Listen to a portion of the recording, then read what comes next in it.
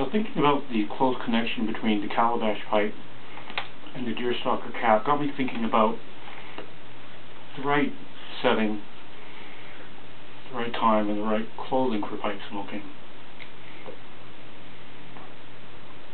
To me, pipe smoking is best in the evening, usually best in cooler weather, the fall and winter. I don't typically smoke too much in the summer. This year has been quite an exception. Um, preferably indoors, preferably around other pipe smokers.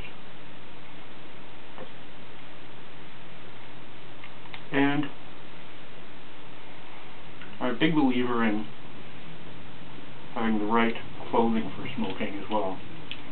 Not that there's any clothing that's required, but there are certain things to me which seem to be appropriate to wear for pipe smoking and others that aren't. I personally don't like uh, smoking a pipe when I'm just wearing sandals and a t-shirt and shorts.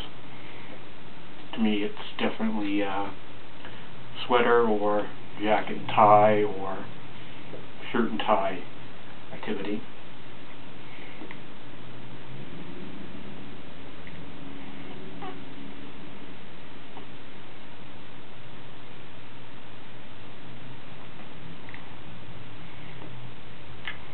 for my videos, I smoke in my bedroom because it just offers the most neutral background, but probably the best environment is a, a den or a special room we have set aside for pipe smoking if you're lucky enough to have such a thing.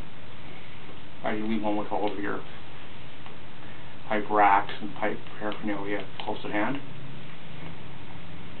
Next best would be a pipe shop or a cigar lounge. However, living in Vancouver with some new restrictive anti-smoking laws, don't have any uh, pipe lounges or cigar lounges left. So, quite limited as to where you can go to smoke a pipe, certainly very limited as to where you can go to smoke a pipe with others.